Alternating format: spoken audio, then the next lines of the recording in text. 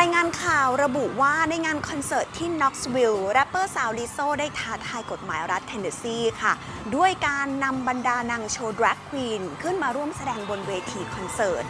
ซึ่งที่รัฐเทนเนสซีเนี่ยค่ะกำลังอยู่ระหว่างการผ่านกฎหมายควบคุมการแสดงของเหล่านางโชว์ในพื้นที่สาธารณะนะคะ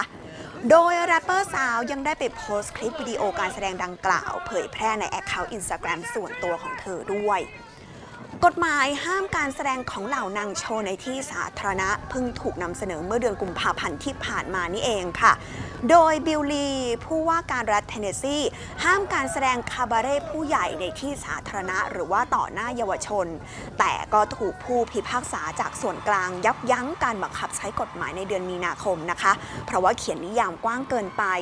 นอกจากนี้ยังถูกวิจารณ์จากกลุ่มสิทธิพลเมืองว่ากฎหมายฉบับดังกล่าวอาจขัดกับเสรีภาพการแสดงออกของประชาชนด้วย